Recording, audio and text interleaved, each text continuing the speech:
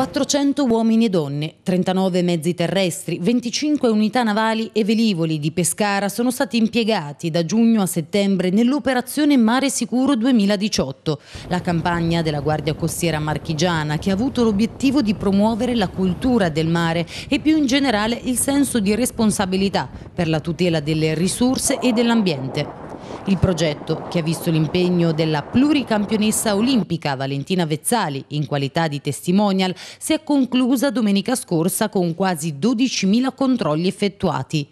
96 sono state le persone soccorse, mentre 354 i verbali amministrativi elevati per un totale di circa 123.000 euro. 15 invece sono state le comunicazioni di reato inviate all'autorità giudiziaria, di cui 13 per violazioni dell'utilizzo del demanio marittimo, come l'occupazione o la gestione abusiva di stabilimenti balneari senza la necessaria autorizzazione.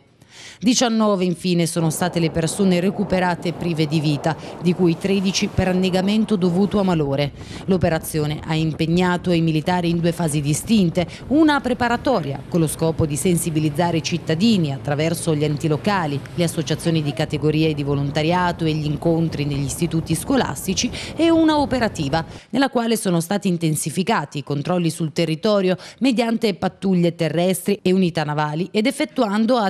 congiunte terra-mare, il tutto per garantire una corretta e sicura fruizione del mare e assicurare in ogni momento un pronto intervento in caso di emergenze.